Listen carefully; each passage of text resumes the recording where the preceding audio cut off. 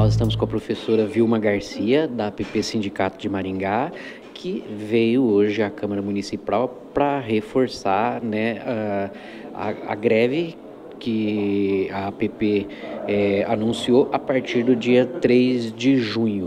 Em Maringá, como acontecerá essa mobilização? Então, nós nos reuniremos, é, acho que hoje à noite, amanhã, mais provavelmente, com o comando de greve, e é a partir do comando de greve que a gente delibera as ações de, de movimentação, de protesto.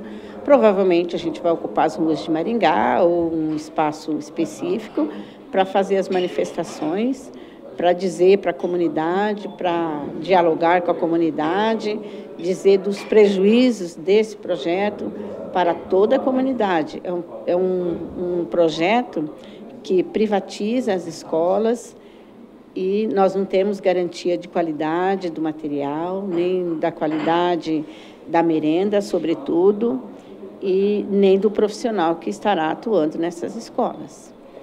Existe um motivo específico né, para que é, o quadro né, de, de, educadores do Paraná seja contrário a essa proposta?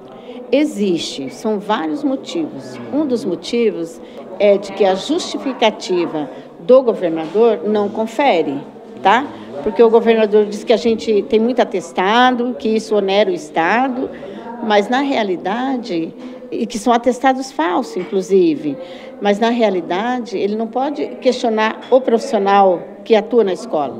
Se, se houver qualquer irregularidade, tem órgãos competentes para fiscalizar esse tipo de ação.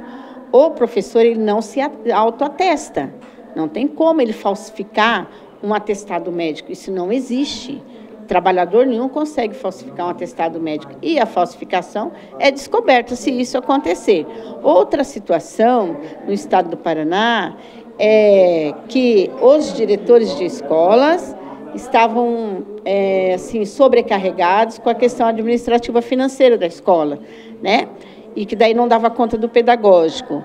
Se isso de fato acontece e, e acontecia, é muito simples o Estado resolver. Contrata um profissional da área financeira e resolve o problema da escola. Não precisa transferir recursos públicos para iniciativa privada. No projeto não tem a prerrogativa de concurso público. Essa prerrogativa não é da iniciativa privada, é do gestor público. Sendo gestor privado, não haverá mais concurso público.